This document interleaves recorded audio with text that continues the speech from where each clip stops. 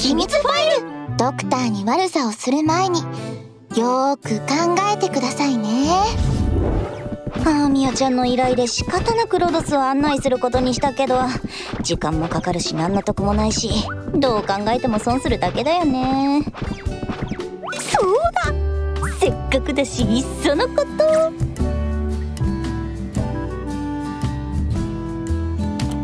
そそうなんだよ。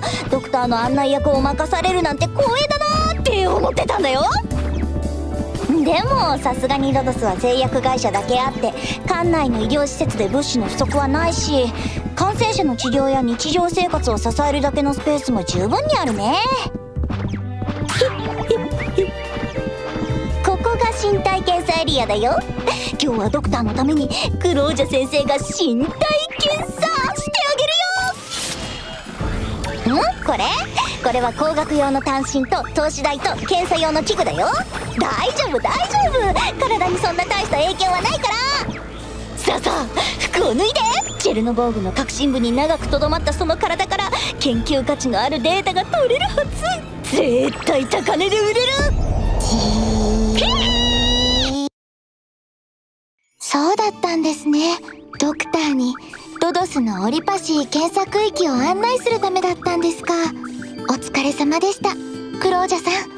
ふう。ドクターにロドスを案内するのは私の役目のはずなのに最近は他の仕事で忙しくて。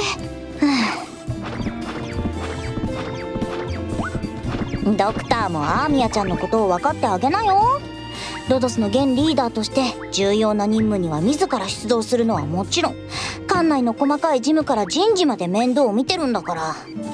アーミヤちゃんまだこんなに若いのにほんと大変だよね。ここれは私がやるべきことですから。それにケルシー先生とクロージャさんもいろいろ手伝ってくれますし。でしょでしょ。じゃあアーミヤちゃんは先に行ってて。ここは私に任せて。ねっ